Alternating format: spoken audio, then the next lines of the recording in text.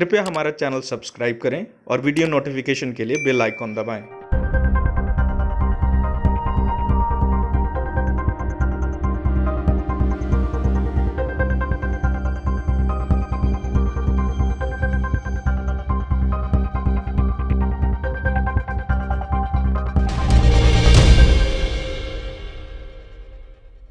दो अक्टूबर, राष्ट्रपिता महात्मा गांधी की 150वीं जयंती पर सरकार बड़ा फैसला ले रही है। इस दिन एक बार इस्तेमाल होने वाले प्लास्टिक पर पूरी तरह से पाबंदी लग जाएगी। बाज़ार में कोई भी सामान लाने, सब्ज़ी लाने में आपको भले ही सुविधा होती हो, लेकिन इससे होने वाला नुकसान इन सुविधाओं से बहुत बड़ा है। झारखंड राज्य में कई बार प्लास्टिक पर बैन की कोशिश हुई, लेकिन हर बार एक समय के बाद फिर सिंगल यूज़ प्लास्टिक बाज़ार में आ जाता है। झारखंड खादी ग्रामोद्योग बोर्ड ने जूट की थैली का चलन बाज़ार में लाया था लेकिन समय के साथ इसकी मांग पूरी नहीं हो सकी और, बाज़ार में फिर एक बार सिंगल यूज़ प्लास्टिक का चलन शुरू हो गया। आप जागरूक हों और सिंगल यूज़ प्लास्टिक से दूरी बनाए रखें। इसके लिए ज़रूरी है कि आप इससे होने वाले खतरनाक असर को समझ सकें। इसके लिए आपको जानना ज़रूरी होगा कि सिंगल यूज़ प्लास्टिक है क्या इससे खतरनाक परिणाम क्या होते हैं और इन प्लास्टिक की जगह से कौन सी चीज़ों का इस्तेमाल किया जा सकता है? क्या है सिंगल यूज़ प्लास्टिक नाम से ही ज़ाहिर है, एक बार ही इस्तेमाल होने के लायक प्लास्टिक इसमें सिर्फ़ प्लास्टिक की थैलियाँ नहीं हैं।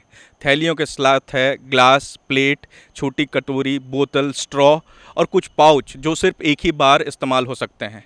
इसलिए इन्हें सिंगल यूज़ प्लास्टिक कहा जाता है। सड़क के किनारे या कहीं भी आप इसे पड़ा देख सकते हैं।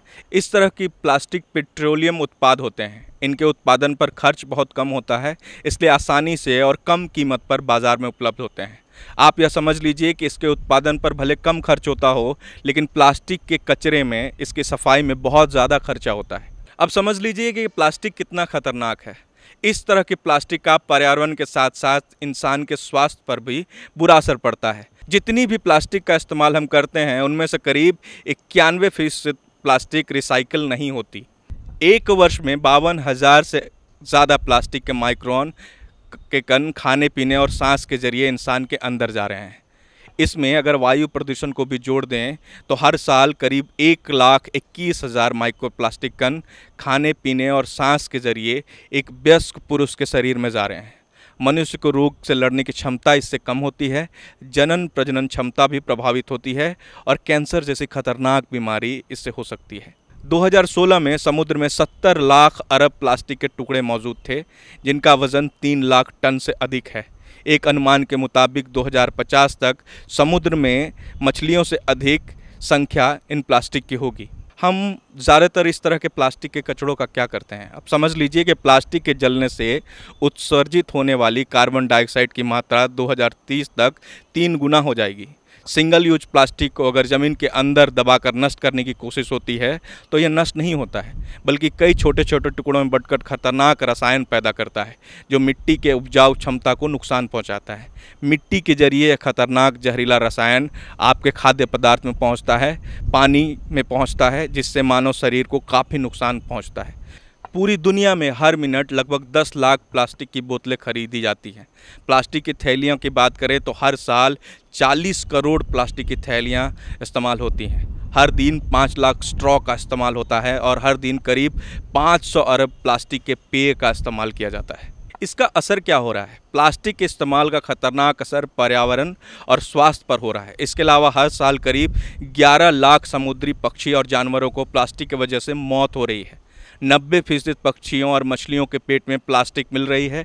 एक रिसर्च के मुताबिक करीब 700 समुद्री जीव प्लास्टिक प्रदूषण के कारण लुप्त होने की कगार पर हैं। सिर्फ़ समुद्री जीव ही नहीं, इसका असर आप पर भी पड़ रहा है। एक रिसर्च कहता है कि औसतन हर साल सत्तर हज़ार माइक्रो प्लास्टिक का सेवन आप कर रहे हैं।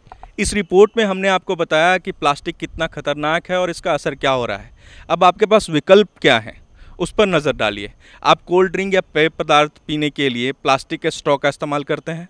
आप पेपर के स्ट्रॉ का इस्तेमाल कर सकते हैं। पानी के बोतल जो प्लास्टिक में आते हैं, उनकी जगह पर शीशा, धातु कॉपर या सेरामिक का उपयोग किया जा सकता है। पेपर का कप, ग्लास, प्लास्टिक की थैली की जगह जूट की थैली का इस्तेमाल आप कर सकते हैं। कागज़ की थैली का भी इस्तेमाल हो रहा है। खाने के लिए प्लास्टिक के चम्मच की जगह आप लकड़ी के चम्मच का इस्तेमाल कर सकते हैं। हमारे पास विकल्प हैं, बस ज़रूरत है उन्हें आदत में लाने की। आप गांधी जयंती पर प्लास्टिक पर पूरी तरह से पाबंदी लगने का इंतज़ार मत कीजिए। कोशिश कीजिए कि आज से ही, अभी से ही प्लास्टिक के इस्तेमाल को बंद कर सकें। धन्यवाद कि आपने पूरा वीडियो देखा। नमस्कार।